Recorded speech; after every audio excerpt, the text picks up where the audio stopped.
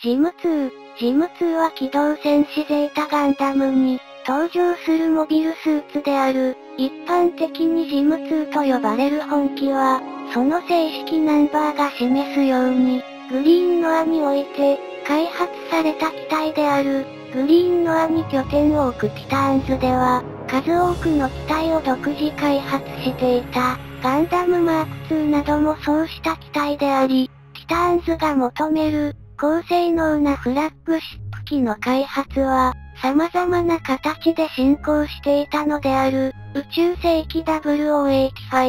頃の、ティターンズの主力機として用いられていた、RGM79 ジムクエルは、戦後に開発されたジムタイプの中でも、最も完成度が高いとされていたが、諸問題から大量配備できなかった、RGM79N ジムカスタムを、ティターンズの機体として、ブラッシュアップしたものである、ジムクエルは、設立当初のティターンズの部隊性格から、タイテロを念頭に置いたもので、当時の機体としては、極めて高い性能を持っていた。しかし、これに満足しないティターンズでは、宇宙世紀0081年から開始された、RGM79 ジムの近代化改修プランを、独自に評価試験し、これを新規開発機として、設計をまとめたものが、ジム2なのである。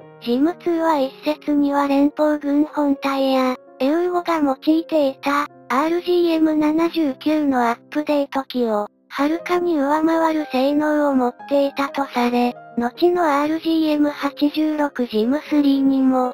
匹敵するものだったともされている。また、それでありながら、既存の RGM79 の生産ラインを、ほぼ転用できるため、コスト的にも、低価格だったとも言われている。このため、既存機の回収を進める連邦軍にも、新規機体として配備された機体は、拠点番号制で決定した型式である、RMS179 が用いられたのである。この結果、従来の回収機である、RGM79R と、RMS179 が混在することとなった。このことは、運用面での不都合があったため、同様に配備されていた回収機も、再登録が実施されたことから、徐々に RMS179 に統一されていくこととなったのである。尾行、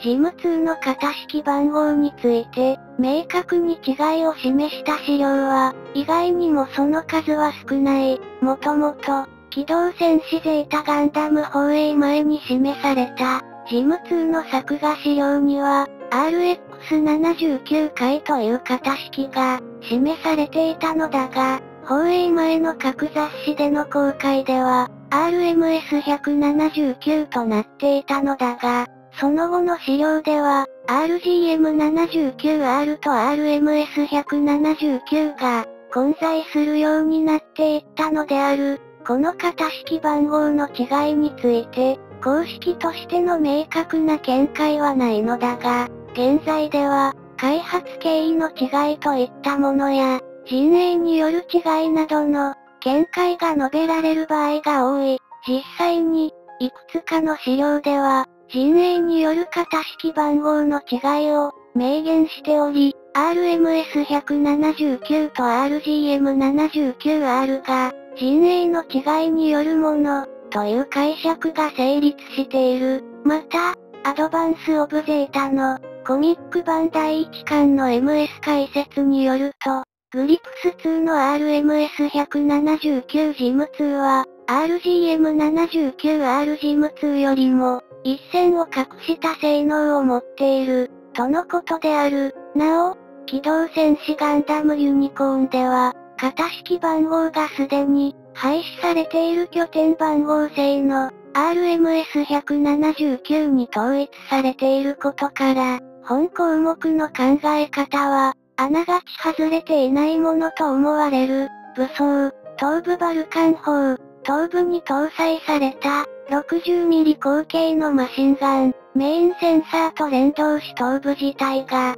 一種の自立砲台として機能する、ビームサーベル、斬撃用のビーム兵器、ビーム発信機は、一年戦争以降の標準的な、量産型パーツを改良したものである。未使用時はジムと同じく、バックパックの左側に装着されている、ビームライフル、型式番号 BRS85C に、出力 1.9MW の防和車が開発、フォアグリップを標準装備した、短距離用ビームライフルで、最大24回の炸裂弾を発射できる、本機と並行してビームスプレーガンの生産ラインを転用して量産され、他のジム系モビルスーツやネモ、ガンキャノン重装甲型などで使用される。一方で、そのエネルギーは、機体に供給されるタイプから変更されておらず、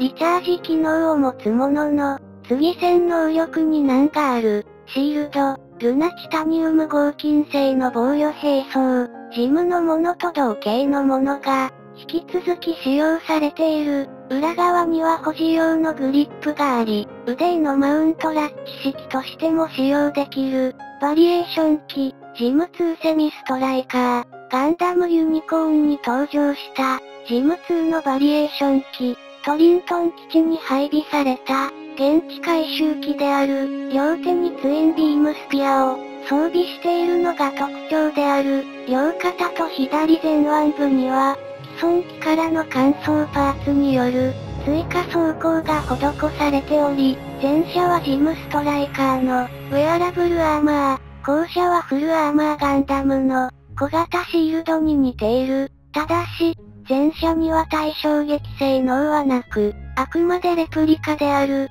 後者もガンダリウム合金製だが、本物なのかレプリカなのかは不明。また、本気のパイロットは、接近戦で最大限の力を発揮できるよう、OS が書き換えられている。そのため、他のパイロットが乗っても、立たせることすらできない。これだけのカスタマイズは、エース機でもやったことがなく、まさに完全専用機と呼べる。ここまで改造した理由は、トリントン基地が、戦略的価値の低い施設であり、新しい機体が、配備されなかったからである。したがって、この機体は、いつか現れるかもしれない敵に、即座に対応し、生き残るために、長年の相棒に、愛情を注いだ結果なのである。武装、ツインビームスピア、ジムストライカーと同じ装備で、本気の重兵装、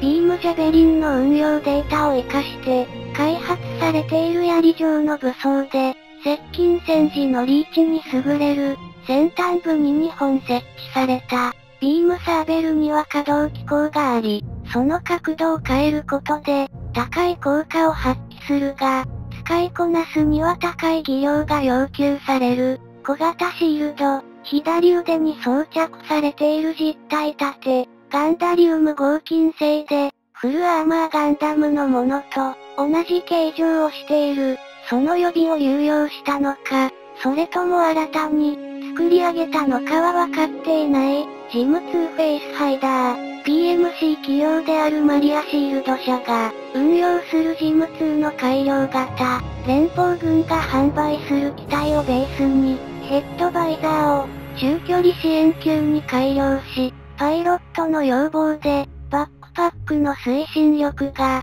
強化されたものに変更している、フェイスハイダーの名の通り、顔を覆うカバーが装着されている、払い下げられた機体であるため、ビームライフルは装備されておらず、独自に調達したジムマシンガンを、改造したものを装備している、マリアシールド社が運用する、他の MS と同様、ボディカラーは白で、両肩には同社のロゴマークである、盾の中に女神の紋章が描かれている。今回はジム2とそのバリエーションについてご紹介していきました。あなたが印象に残った機体はどれでしょうか？コメント欄より教えていただけましたら幸いです。